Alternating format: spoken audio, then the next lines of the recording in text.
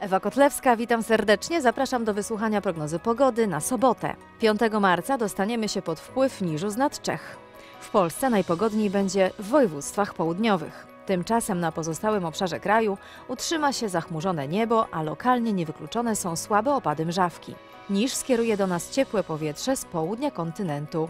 Najwyższą temperaturę pokażą termometry w Krakowie, aż 12 stopni, a najniższą w Gdańsku, w Suwałkach i w Białymstoku, tutaj po 5. Ciśnienie atmosferyczne zacznie wolno spadać i w Warszawie wczesnym popołudniem wyniesie 989 hektopaskali. Wschodni i południowo-wschodni wiatr na Podlasiu i Mazurach będzie słaby i bardzo słaby, na krańcach zachodnich i Podkarpaciu dość silny, a poza tym umiarkowany. Biometr na krańcach południowych ma być obojętny, a poza tym niekorzystny. I to wszystkie informacje o pogodzie. Dziękuję. Do usłyszenia.